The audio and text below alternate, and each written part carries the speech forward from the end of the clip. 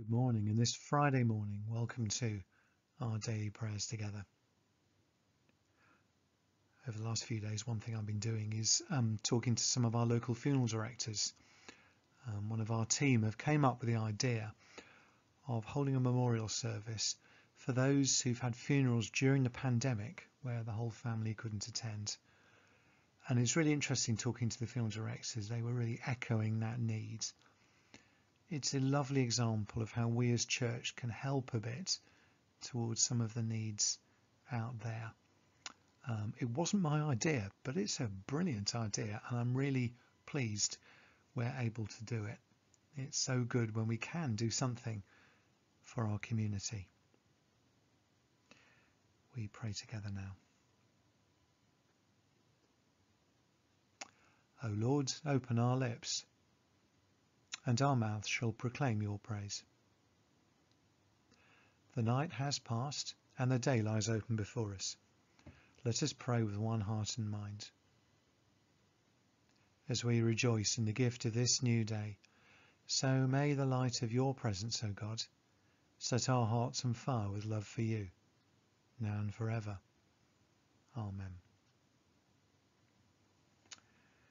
Today we're doing Matthew 6, verse 19. Do not, Jesus says, store up treasures for yourselves on earth, where moths and vermin destroy, and where thieves break in and steal. One of the famous sayings of Jesus. And of course, he's talking about the fact we are all investors.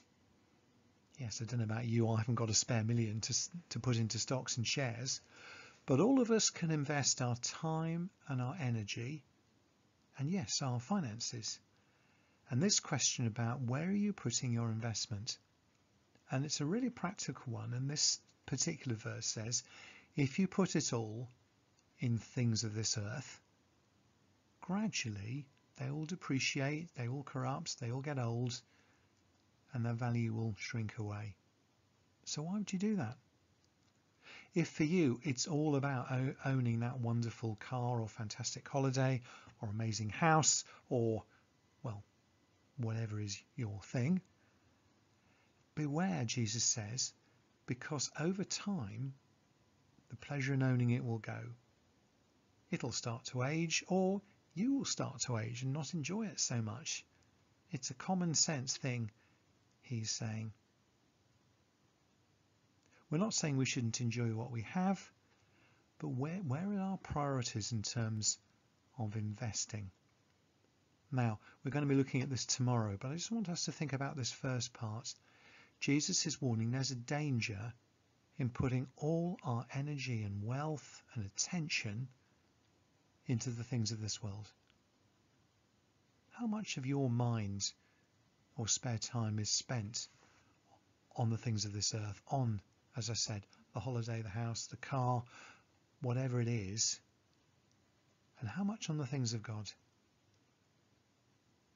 Chance to pause now.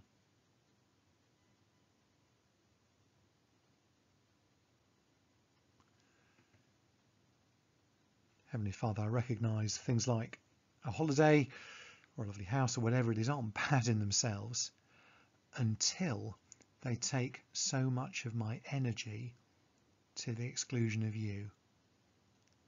Help me to invest well with where I put my energy, my money, my thoughts and my heart.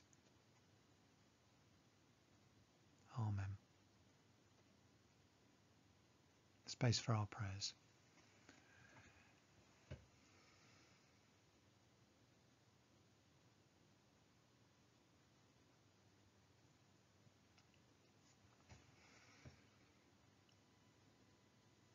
And so as our Saviour taught us, so we pray.